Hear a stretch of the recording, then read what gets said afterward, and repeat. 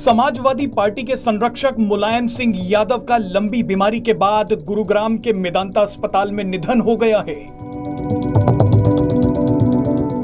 तीन बार उत्तर प्रदेश के मुख्यमंत्री और केंद्रीय सरकार में रक्षा मंत्री रहे मुलायम सिंह यादव को देश के दिग्गज राजनेताओं में गिना जाता है।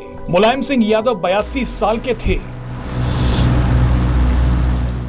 जब मुलायम सिंह यादव अस्पताल में थे तो प्रधानमंत्री नरेंद्र मोदी, रक्षा मंत्री राजनाथ सिंह और उत्तर प्रदेश के मुख्यमंत्री योगी आदित्यनाथ ने सपा प्रमुख अखिलेश यादव से लगातार मुलायम सिंह यादव के स्वास्थ्य की जानकारियाँ ली थी।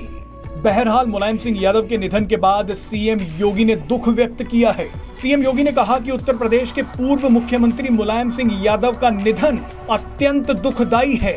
उनके निधन से समाजवाद के एक प्रमुख स्तंभ और एक संघर्षशील युग का अंत हुआ है। सीएम योगी ने कहा कि मैं उनके परिवार और समर्थकों के प्रति संवेदना व्यक्त करता हूँ।